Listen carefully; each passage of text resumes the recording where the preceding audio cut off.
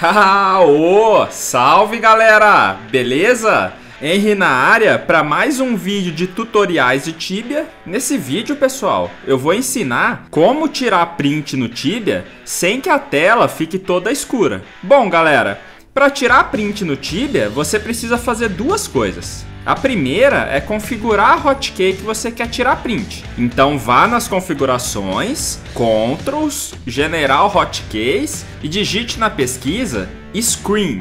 O primeiro que aparecer, Take Screenshot, basta clicar aqui e selecionar o botão que você quer tirar print. No meu caso, é o Insert. Com esse detalhe, você já consegue tirar print normal apertando o botão que você escolheu. Agora eu vou mostrar a segunda etapa, que é habilitar os prints automáticos e achar a pasta de prints. Então vá nas configurações, MISC, Screenshots, seleciona a opção que você quer que tire print automático, como por exemplo quando você upa de level, skills e etc.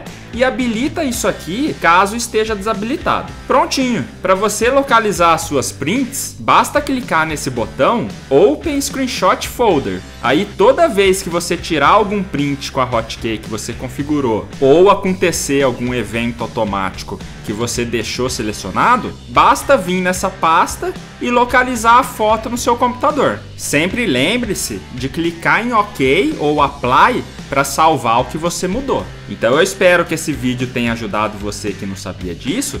Não esquece de deixar o like, hein? Se inscrever no canal se ainda não tiver feito isso e compartilhar o vídeo para quem precisar. Então até o próximo vídeo. Tamo junto sempre e é nós. Valeu!